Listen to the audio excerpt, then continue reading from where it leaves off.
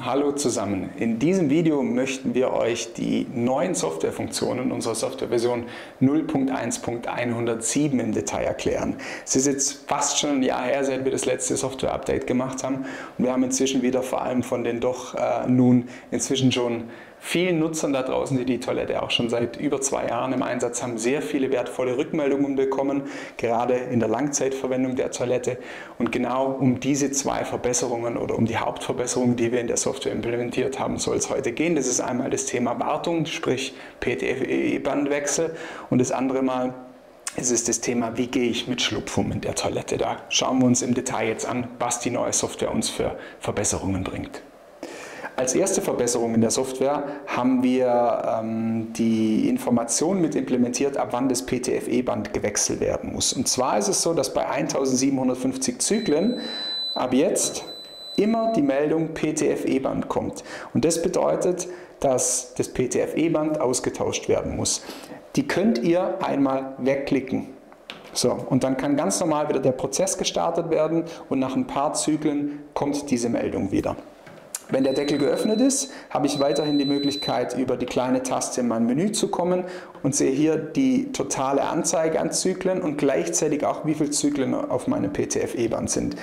Nicht ähm, erschrecken, hier sind 914 drauf, das ist, weil das eine Testsoftware ist, damit wir euch zeigen können, wie ihr den Counter auch zurücksetzen könnt. Das heißt, in der Softwareversion stehen dann hier 1750 Zyklen und indem ich einfach den Deckel öffne, in dieses Menü gehe, kann ich dann die Pfeiltaste betätigen, die halte ich gedrückt und dann wird mein Counter wieder auf 0 zurückgesetzt.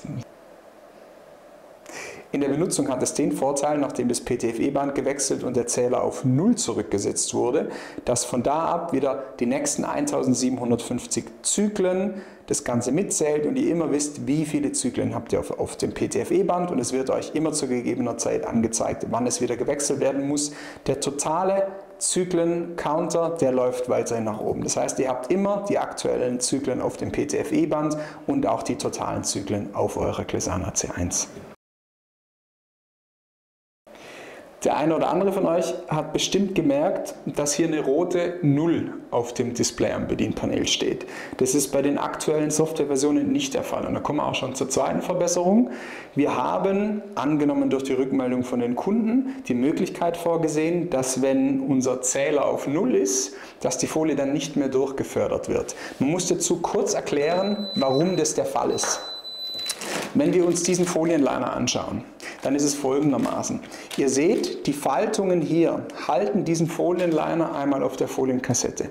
Wenn zu viel Gewicht in dem Folienliner ist, dann wird dieser über das Gewicht nach unten gezogen. Alternativ kann es beispielsweise auch sein, wenn ich eine Kette produziere und hier Gewicht habe und dann mit meinem Fahrzeug Kurvenfahrten mache, dann zieht es das durch das Moment nach unten. Das bezeichnen wir als sogenannten Schlupf. Also Folie, die nach unten gezogen oder transportiert wird, ohne dass aktiv die Rollenmotoren sich bewegen. Aus diesem Grund ist jeder Folienliner 60 bis 80 cm länger als äh, der Wert, der in der Software eingestellt ist. Das bedeutet, diese Überlänge soll eigentlich dazu da sein, um den Schlupf zu kompensieren, der ab und an auf, äh, entstehen kann.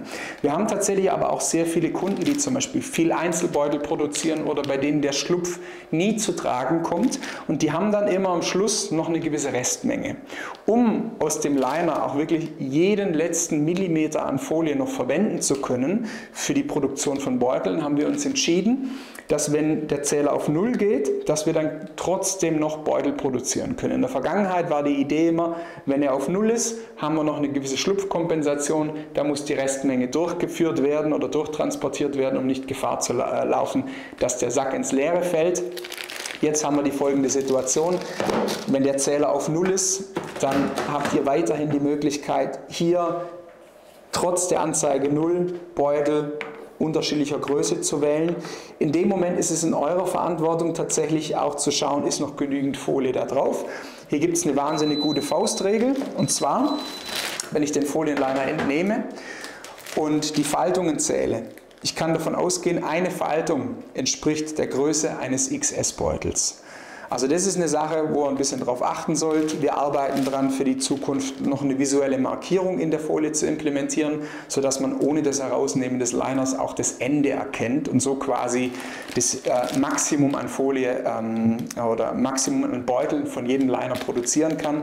Über die äh, Bedruckung werden wir tatsächlich aber noch informieren, sobald wir das in unseren Produktionsanlagen implementiert haben.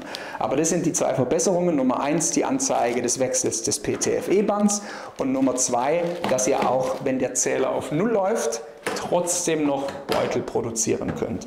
Parallel haben wir im Hintergrund dann noch ein paar Kommunikationsthemen verbessert. Ähm, nichtsdestotrotz sind es die zwei großen Rückmeldungen, die wir über das letzte Jahr von euch als Kunden und von den Klesanan C1-Benutzern bekommen haben.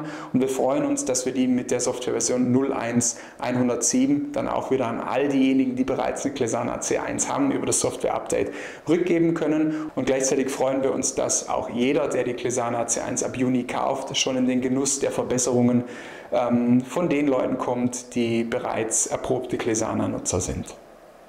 Und die Details, was sich alles im Detail mit der Softwareversion 0.1.107 geändert hat, findet ihr wie gehabt bei uns auf der Website im Software-Update-Bereich. Da findet ihr auch die Release Notes, wo quasi alles detailliert aufgeführt ist und auch nochmal die Anleitung mit Beschreibung und ein Video, wie genau das Software-Update ähm, umzusetzen ist. Viel Spaß damit!